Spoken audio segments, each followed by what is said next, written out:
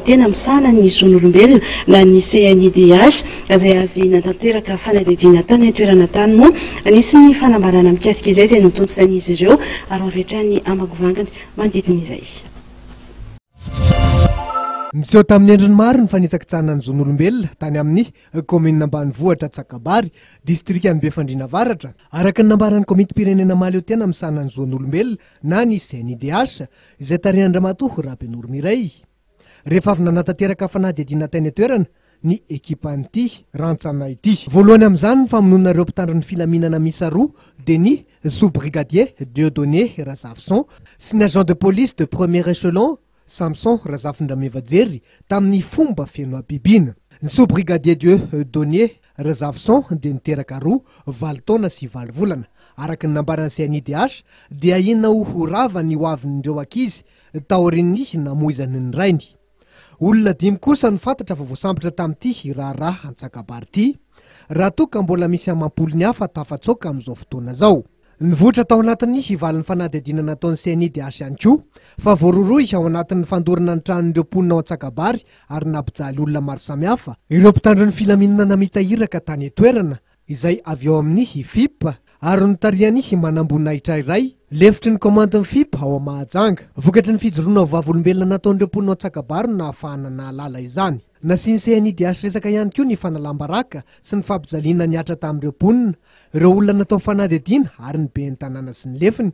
Ao Antsakabary, ny fisian'ny vono olona tsy niniana ka nahafatesana ramatoa lehibe hejamba iray, ny fandrobana ny tranon'ny mponina, ny fanerena hibaboka tamin'ny zavatra tsy natao. Nanaitra ny sain'ny CNIDH ihany koa ny fandefasana vaovao tsy marina sy ny fikasana hanampim-bava mpanao gazety. Mandra-piandry ny valim-pitsarana ho an'ireo nahavita heloka, dia niantso ny fandraisana fepetra ho an'ireo mpitandro ny filaminana izay voarohirohy, Ny firosoana amin'ny fampihavanana ary ny fanamboarana ny simba ihany koa ny CNIDH.